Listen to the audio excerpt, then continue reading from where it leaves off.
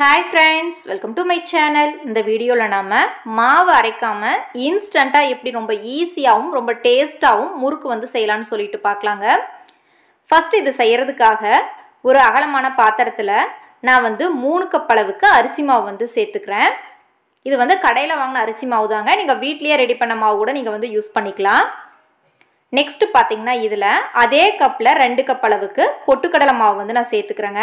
பொட்டுக்கடலையை ஜாரில் போட்டு நல்லா அரைச்சி சளிச்சுட்டு நீங்கள் வந்து சேர்த்துக்கோங்க. இப்போ இதில் பார்த்தீங்கன்னா முக்கால் டேபிள் ஸ்பூன் அளவுக்கு உப்பு காரத்துக்காக அதே முக்கால் டேபிள் ஸ்பூன் அளவுக்கு மிளகாய்த்தூள் நெக்ஸ்ட்டு அரை டேபிள் ஸ்பூன் அளவுக்கு ஓமத்தை வந்து நல்லா கையில் போட்டு இந்த மாதிரி நல்லா கசக்கிட்டு நம்ம வந்து சேர்த்துக்கலாங்க. அப்போ தான் முறுக்கு வந்து நல்லா வாசனையாக இருக்கும். இப்போ ஓமம் சேர்த்தாச்சு. அடுத்ததாக முறுக்கு வந்து நல்லா மொறு மொறுன்னு வர்றதுக்காக ரெண்டு டேபிள் ஸ்பூன் அளவுக்கு வெண்ணெய் வந்து நான் சேர்த்துக்கிறேங்க. நீங்கள் வெண்ணெய்க்கு பதிலாக சூடான எண்ணெய் கூட நீங்கள் வந்து ஒரு மூணு டேபிள் ஸ்பூன் அளவுக்கு சேர்த்துக்கலாம். இது எல்லாமே சேர்த்ததுக்கு அப்புறமா கைகளால் இந்த மாதிரி வந்து நல்லா கலந்து விட்டுறலாங்க. உப்பு மிளகாய்த்தூள் வெண்ணெய் எல்லாமே ஒன்று சேர்ந்து வர மாதிரி இந்த மாதிரி நல்லா கலந்ததுக்கு அப்புறமா இதில் வந்து தண்ணி சேர்த்து நம்ம வந்து பிசைஞ்சு எடுத்துக்கலாம்.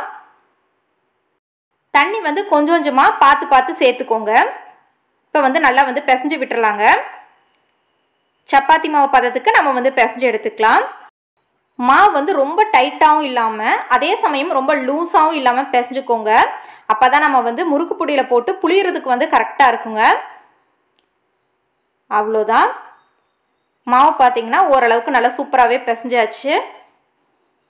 இதை வந்து நம்ம ஊற வைக்கணுங்கிறதெல்லாம் அவசியம் இல்லைங்க. உடனே வந்து நம்ம வந்து முறுக்கு வந்து புளிஞ்சிடலாம் அதுக்கு பார்த்தீங்கன்னா இந்த மாதிரி அச்சு வந்து எடுத்திருக்கேன். உங்களுக்கு விருப்பமான அச்சு வந்து நீங்கள் வந்து எடுத்துக்கலாம். இப்போ பிசைஞ்ச மாவுலேருந்து கொஞ்சமாக எடுத்து முறுக்கு பொடியில் வந்து நான் போட்டுட்டேன். இப்போ இதை வந்து க்ளோஸ் பண்ணிக்கலாம். ப்ரெஸ் பண்ணி பார்க்கலாங்க. மாவு வந்து எப்படி வருதுன்னு சொல்லிட்டு. நல்லா சூப்பராக நல்லா ஸ்மூத்தாக வந்து வருதுங்க. இப்போ வந்து நம்ம முறுக்கு வந்து பிழிஞ்சு விட்டுடலாம் அதுக்கு இந்த மாதிரி கரண்டியோட பேக் சைடு வந்து நம்ம வந்து சுற்றிக்கலாங்க அப்போ தான் நம்ம போடுறதுக்கு வந்து ஈஸியாக இருக்கும்.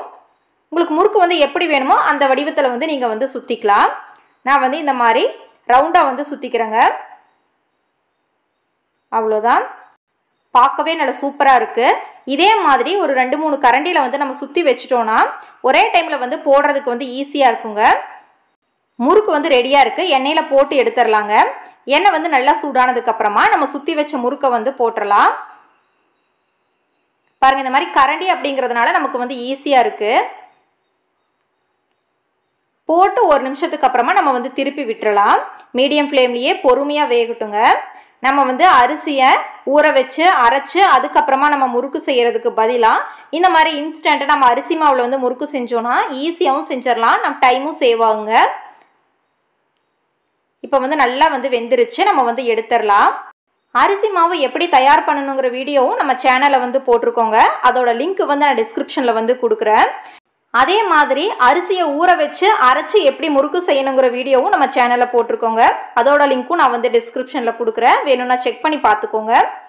அவ்வளோதாங்க நல்ல டேஸ்டான அதே சமயம் நல்ல மொறுமொறுப்பான இன்ஸ்டன்ட் முறுக்கு வந்து ரெடி ஆயாச்சு.